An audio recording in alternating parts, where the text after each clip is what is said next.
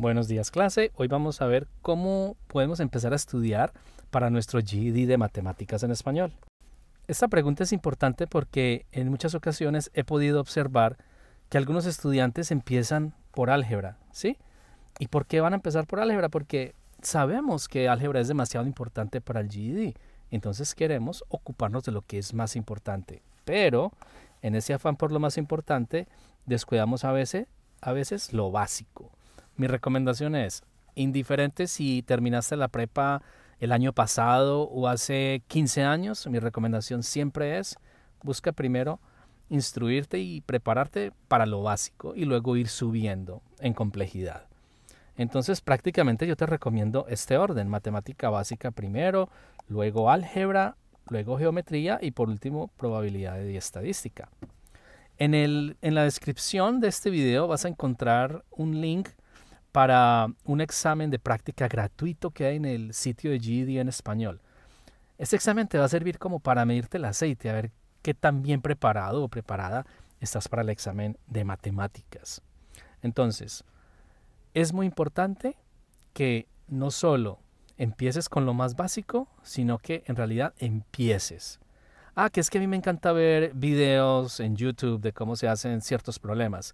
Sí, pero si no estás usando papel y lápiz para seguir el procedimiento que ves en el video o incluso deteniendo, pausando el video antes de que se empiece a resolver, probablemente no estés ganando demasiado, ¿sí?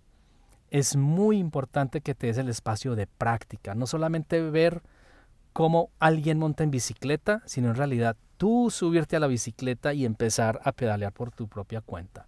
Entonces, busca recursos, busca oportunidades de práctica. Si no tienes un libro de preparación de GED, puedes ir a la biblioteca, allá los puedes conseguir de forma gratuita. Eh, averigua en tus distritos escolares, a veces las, las escuelas públicas ofrecen cursos de GED en español sobre todo en estados como Texas, California, Florida. También puedes averiguar em, en los colegios comunitarios, en los community colleges. Algunas veces ellos también ofrecen eh, cursos de GED en español. Entonces, busca recursos, busca recursos. Si puedes tener la posibilidad de em, estudiar con alguien más, de conseguir como compañeros de estudio, eso sirve muchísimo porque no solamente vas a tener alguien que te anime a estudiar, sino que vas a tener alguien que probablemente la forma de ver los problemas te va a ayudar a ti también, ¿sí? No todos analizamos los problemas de la misma manera. Bueno, entonces mi recomendación es, primero, eh, compromiso, segundo, empezar por lo básico, tercero, utilizar la mayor cantidad de recursos que puedas, no te quedes con uno solo. YouTube solo, eh, un libro solo, tienes que tratar de buscar y combinar formatos para que tengas bastantes oportunidades de práctica. Y recuerda, en, el, en la descripción ahí hay un, link para un, eh, un examen de práctica gratuito. Entonces, toma la oportunidad, mira a ver qué tan bien estás. Esta es la dirección de internet, pero el link, ya sabes, puedes mirar la descripción. Bueno, y si piensas que estos videos te pueden servir y te aportan, suscríbete y no olvides activar las notificaciones. Este es un canal pequeñito, entonces si no activas las, las notificaciones, no es muy probable que YouTube te vaya a traer el próximo video que yo suba, ¿ok? Recuerda las notificaciones si estás interesado, interesada en seguir practicando. Bueno, ok, ya sabemos, vamos a empezar por lo básico, pero ¿qué es lo básico? Bueno, empezamos con la básica aritmética, sumar, restar, multiplicar, dividir. Eh, números enteros, ¿qué son números enteros? Fracciones, operaciones con fracciones. Decimales y porcentajes, cómo multiplicar un decimal, cómo dividir un decimal. El orden de operaciones es demasiado importante. Sobre todo, es algo que vas a seguir utilizando en álgebra. Si no tienes claro eh, el orden de operaciones, vas a cometer muchos errores y las propiedades de los números. Bueno, y como aquí vinimos fue a practicar, agarra tu papel y lápiz, pausa el video, resuélvelo primero, trata de resolverlo primero eh, de forma independiente y luego mira a ver cómo lo hacemos juntos, ¿ok? Bueno, entonces, ¿qué, trae, ¿qué nos dice este problema? Si un postre cuesta 3 dólares con 50 y compras 5 de ellos, ¿cuánto pagarás en total luego de dar 15% de propina? Interesante. Este está muy fácil de, analizar ¿sí? para hacer el plan de qué vamos a hacer. Entonces tenemos, sabemos que cada postre cuesta 3,50 y compramos 5. Obviamente que lo más fácil sería hacer una multiplicación, ¿cierto? Pero este 15% de propina nos complica un poquito más el problema. Nos está pidiendo hallar cuánto es el 15% de eso que cuestan los postres y adicionárselo, ¿cierto? Porque nos están preguntando por el total que vamos a pagar. Bueno, entonces miremos cómo lo resolvemos. ¿Cómo quedó establecido en el análisis? Vamos a tomar 3,50 y lo vamos a multiplicar por 5. 5 por 0, 0, 5 por 5, 25, llevo 2, 5 por 3, 15 y 2, 17. Como tenemos dos decimales en total, ¿sí? este número no tiene decimales y este número tiene dos decimales, entonces el total de decimales es 2. Nuestro resultado va a tener dos decimales, 17,50. Ahora, lo que hay que hacer es averiguar ese 15%. Bueno, mi recomendación es que uses papel y lápiz para esto, no uses calculadora, estamos practicando y aprendiendo. Yo prefiero, yo prefiero que si tienes calculadora en el examen, la uses a que llegas al examen y dependes totalmente de la calculadora para hacer todos los problemas de porcentaje y no tienes calculadora para ese problema en específico. Entonces es mejor prepararse lo mejor posible. En todos los problemas de porcentaje, papel y lápiz, no uses calculadora, ¿ok? Bueno, Luego vamos a ver videos de cómo se resuelven problemas de porcentaje con calculadora, pero estamos empezando por lo básico y obviamente la oportunidad de practicar eh, cómo se calculan los porcentajes. Bueno, entonces tenemos que el total, el monto total, el costo de esos cinco postres son 17 dólares con 50. Eso quiere decir que ese es el 100%. Vamos a establecer una proporción o una regla de tres, como lo quieran llamar. Y en el otro lado como vamos a averiguar el 15%, los, los porcentajes se miran el uno al otro, entonces el 15% va abajo y arriba va ese término desconocido. Me encantan estas reglas de tres porque es muy fácil de encontrar la ecuación para ese término desconocido. Mira, el término desconocido en una regla de tres siempre va a ser igual a la multiplicación de los dos términos que se cruzan dividido por aquel que cruza la x. ¿Cómo así? Pues mira, quiere decir que x va a ser igual a, arriba va la multiplicación de los que se cruzan, en este caso 17,50, esa línea me quedó súper torcida, que multiplica a 15. Y abajo, o sea, dividiendo entre el número que cruza la x, en este caso 100. Bueno, pues hagamos primero la multiplicación, 17,50 multiplicado 15. Hagámoslo por aquí en otro color para no enredarnos. Entonces 17,50 multiplicado 15 va a ser igual a 5 por 0. 0, 5 por 5, 25, van 2, 7 por 5, 35, y 2, 37, llevo 3, 5 por 1, 5 y 3, 8. Ahora multiplicamos en, por 1, 1 por 0, 0, 1 por 5, 5, 1 por 7, 7, 1 por 1, 1. Sumamos, nos da 0, 5, 12, llevo 1, 16, llevo 1, 2. ¿Okay? ¿Cuántos decimales tenemos en esta multiplicación? Solo tenemos dos decimales de este número. Entonces, nuestro resultado va a tener dos decimales. Bueno, entonces la parte de arriba, vamos en que x va a ser igual a la parte de arriba es 262,50. Ahora dividido entre 100. ¿sí? Dividir entre 100 es súper, súper fácil porque es simplemente mover el decimal, el número de espacios que tenemos, el mismo número de ceros, hacia la izquierda. Entonces el 100 tiene dos ceros. El decimal que está acá lo vamos a mover 1, 2 espacios. Entonces queda luego del 2. Entonces x va a ser igual a 2.625. ¿Sí? Entonces, ¿esto qué es? Este es el 15% que vamos a dar de propina, pero nos están preguntando el total. Bueno, ya sabemos que los postres cuestan 17,50 y la propina es de 2 dólares con 62, dejémoslo en 62, o pongamos el, 60, el, el 5 también. Ahora lo vamos a sumar porque estamos buscando el total, da 5, 2, 11, el decimal bajo el decimal, ¿verdad? Eh, llevo una, nos da 10 más una, 2. Entonces tenemos que el costo total, incluyendo la propina, va a ser de 20 dólares con 12 centavos. Si nos piden aproximar, redondear, serían 20 dólares con 13 centavos. Si este decimal, si este número es 5 o más, este que nos sigue acá se sube una unidad. Por eso lo, dejamos en 20 con 13. Bueno, es un examen, este es un problema fácil. Lo que pasa es que es largo, ¿sí? Y requiere práctica. No va, no, no vas a poder hacer ese problema en menos de tres minutos si no practicas bastante. Entonces eso es una, clave esencial. ¿ok? Sigamos pues practicando y pasemos al siguiente problema. La velocidad máxima del carro de Viviana es de 80 millas por hora. ¿Cuál es la velocidad máxima del carro de Bonifacio si este es 4 quintas partes la velocidad del carro de Viviana? Bueno, este problema nos obliga a calcular la fracción de un número entero. ¿Y cómo se hace eso? Multiplicando.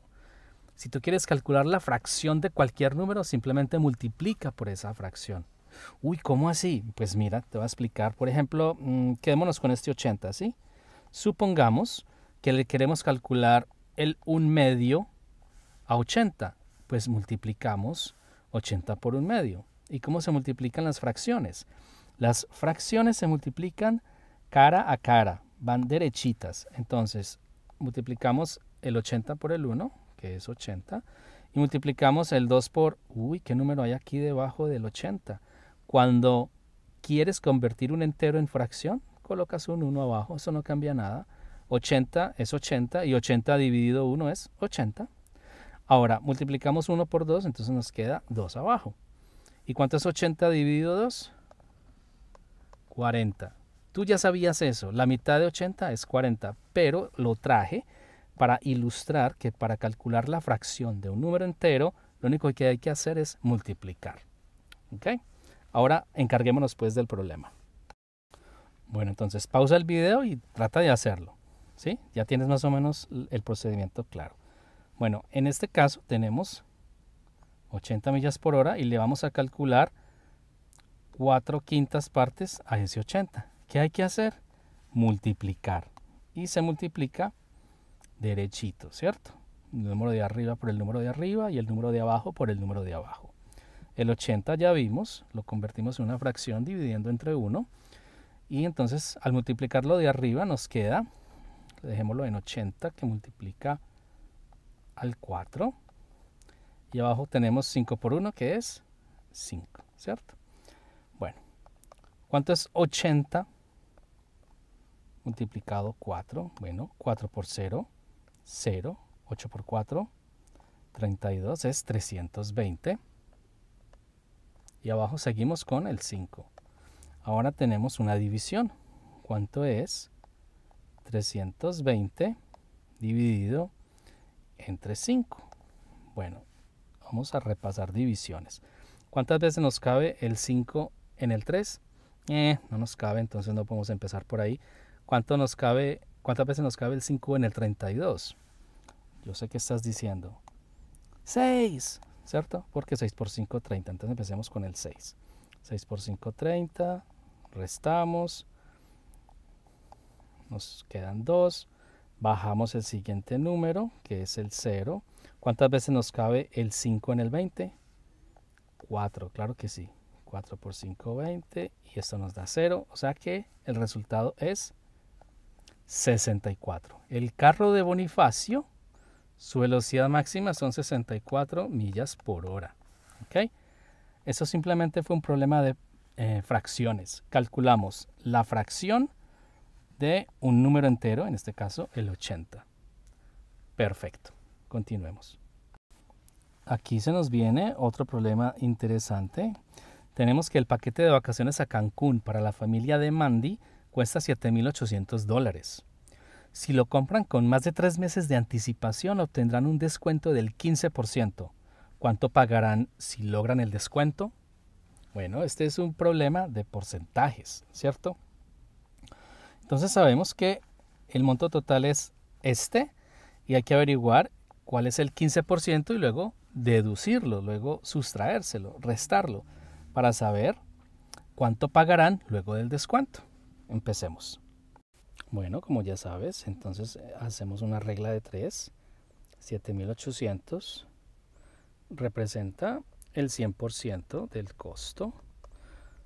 Entonces, ¿cómo vamos a encontrar ese 15%? Ese 15% va abajo porque las unidades se miran a sí mismas. Y arriba tenemos el término desconocido. Como ya vimos anteriormente, para averiguar el término desconocido simplemente multiplicamos los dos que están, los dos que se cruzan y luego eso lo dividimos por aquel que cruza la x. Entonces por ahora nos queda que x va a ser igual a, hagamos la línea, 7800 eh, multiplica 15 y esto lo vamos a dividir entre 100. Bueno, por eso me gusta primero expresar las operaciones así como están acá.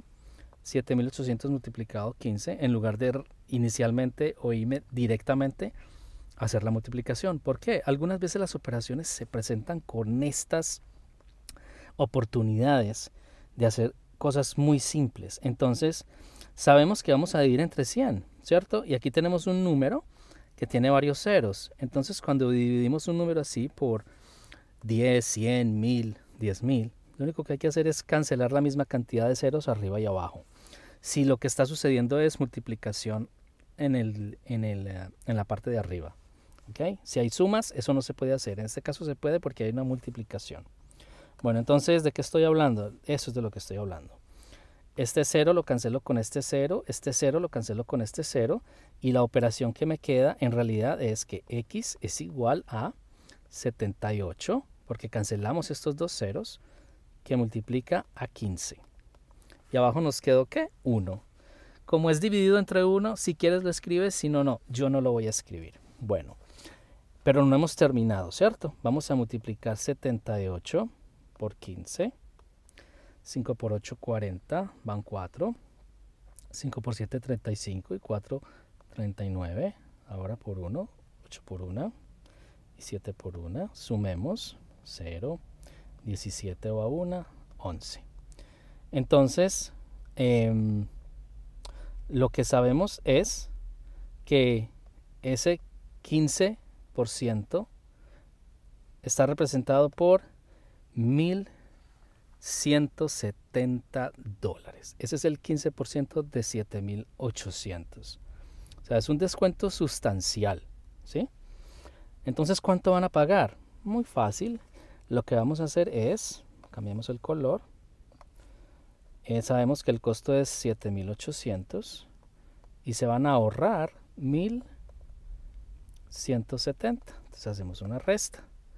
0 menos 0, 10 menos 7, 3. Esto ya no es un 8 sino un 7. 7 menos 1, 6. Y 7 menos 1, 6. O sea que el, el costo ahora va a ser de 6.630 dólares en lugar de 7.800 por ese descuento que lograron por comprar el tiquete tres meses antes.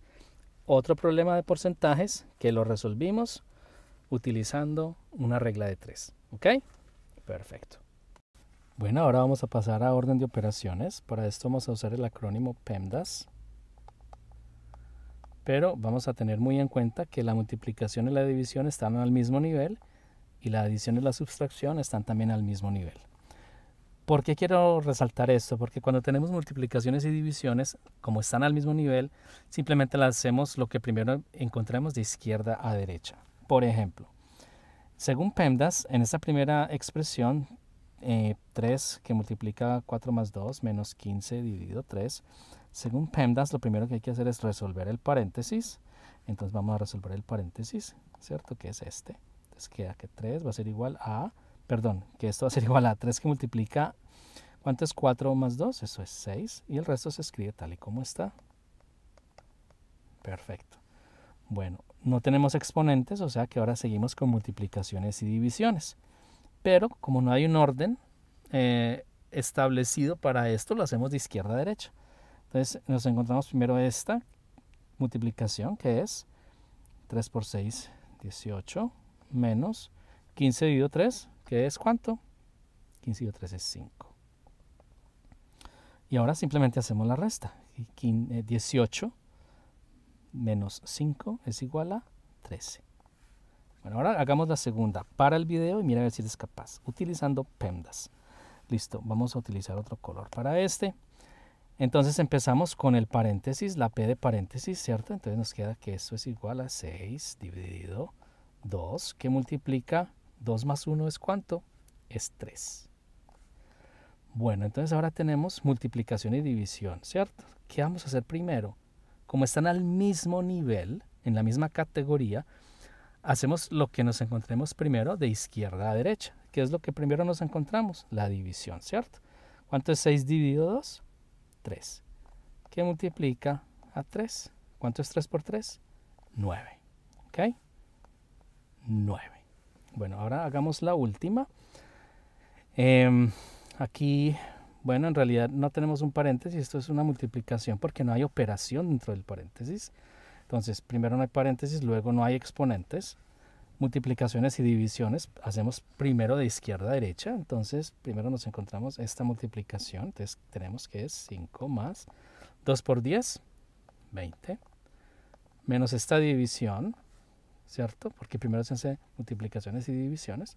6 dividido 3 es 2. Ahora sumas y restas. Perfecto. ¿Cuánto es 5 más 20? Es 25. Y aquí seguimos con esta resta, menos 2. Y 25 menos 2 es igual a 23. ¿Ok? Perfecto. Esta es una operación sencilla. Esto es un problema sencillísimo, pero ten muy presente PEMDAS y que las multiplicaciones y las divisiones están al mismo nivel y las vas a hacer de izquierda a derecha. Si primero te encontraste una división, cuando vas de izquierda a derecha, haz primero la división. ¿Ok? Perfecto. Sigue conectado. Bueno, ahora vamos que Fátima es campeona de tiro al arco. Tres quintas partes de sus tiros dan en el blanco. Si Fátima tira 30 veces en todo el torneo, ¿cuántas veces falló? Bueno, aquí es un problema muy parecido a uno de los primeros que vimos hoy. Tenemos que calcular una fracción de un número entero. ¿Y eso cómo se hace? Multiplicando, ¿verdad? En este caso multiplicamos 30 por la fracción es 3 quintos, 3 sobre 5. Y estas 3 quintas partes son las veces que da en el blanco, pero nos están preguntando cuántas falló. Entonces primero vamos a ver cuántas veces dio en el blanco. Recordemos que las fracciones se multiplican el número de arriba por el número de arriba y el número de abajo por el número de abajo. Entonces 30 por 3 es igual a 90. 5 por 1 es 5. Y 92, 5, pues hagamos la división aquí y aprovechamos y practicamos. ¿Cuántas veces está el 5 en el 9? Una vez. 5 por 1 es 5, restamos, esto da 4, bajamos el que sigue que es el 0. ¿Cuántas veces nos cabe el 5 en el 40? 8 veces. 5 por 8, 40. Y ahora llegamos al final de la división. Entonces, ella dio en el blanco 18 veces, ¿verdad? Pero no nos pregunta cuántas veces dio en el blanco, sino cuántas veces falló. Entonces miramos la diferencia, ¿cierto? 30 menos 18, que fue cuando dio en el blanco, eso nos va a dar el número de veces que falló. Entonces tenemos que 10 menos 8 es 2, esto ya no es 3 sino 2, 2 menos 1 es 1, falló 12 veces. Y dio en el blanco 18 veces. Pero la respuesta para nuestro problema es cuántas veces falló. Falló 12 veces. ¿Ok? Perfecto.